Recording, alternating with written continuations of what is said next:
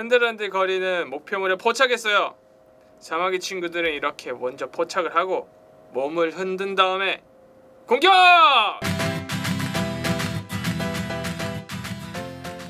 친구들 안녕! 에그 박사 곤충 친구들 저는 에그 박사입니다. 오늘 에그 박사가 준비한 곤충 친구를 만나볼 건데요. 바로 mantis 사마귀 친구예요. 그 중에서도 넓적배 사마귀라는 곤충 친구고요. 자, 우와! 지금까지 만나봤던 멘티스 친구보다 엄청 크고 요. 몸집은 왕사마귀의 배처럼 배 쪽이 엄청 크다고 해요. 원래는 이 사마귀 친구들이 엄청 날씬하잖아요. 근데 이 친구는 배가 뻥! 그래서 좀 더 위협적인 것 같아요.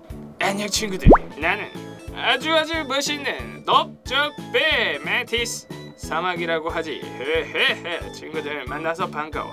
아열대에서 주로 서식하기 때문에 온도가 조금만 틀려도 갑자기 죽어버리는 돌연사를 하는 경우가 많다고 합니다. 친구들 넓적배 멘티스를 계속 보고 있으니까 누군가 생각이 나요. 청개구리! 보호색을 띠고 있는 청개구리. 여기 있는 넓적배 멘티스 친구를 한번 색깔 비교를 해보겠습니다.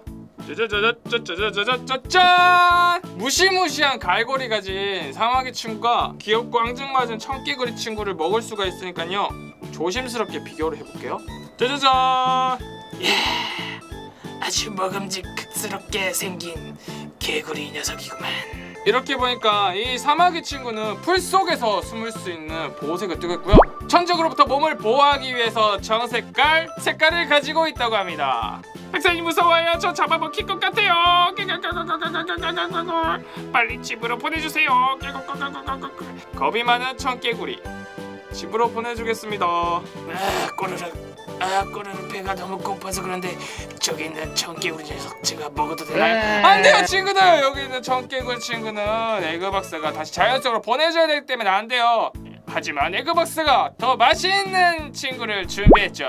귀뚜라미 녀석이에요. 짠 벌쩍 벌쩍 벌쩍 헤헤헤헤. 친구들 아주 먹음직스러운 귀뚜라미를 준비했습니다 사마귀 친구가 뭐, 오 너무 크기가 엄청, 오 너무 놀랬나봐요. 사마귀가 도망을 갔어요.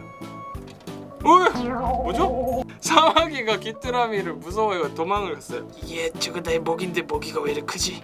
아, 아 위험적이다. 아, 잽을 한방 날려서 먹어야 되는데 저기요 저기요 박사님 잠깐만요 잠깐만 있어보세요. 친구들 지금 넓적배 사마귀가 흔들흔들 거리는 목표물에 포착했어요.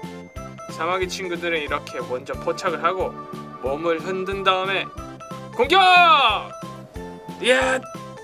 오 계속 공격을 하고 있어요 친구들. 맛을 봤다. 이거는 귀뚜라미.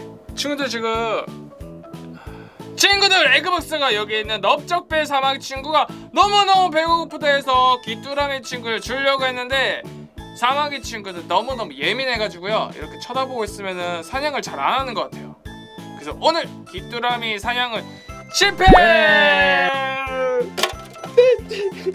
에그박사 곤충 친구들 오늘 넓적배 사마귀 친구를 만나봤는데 어떠셨나요? 너무나도 멋진 사마귀 친구였어요 좋아요 구독 꼭꼭꼭꼭꼭 눌러주시고요 에그박사 곤충 친구들 안녕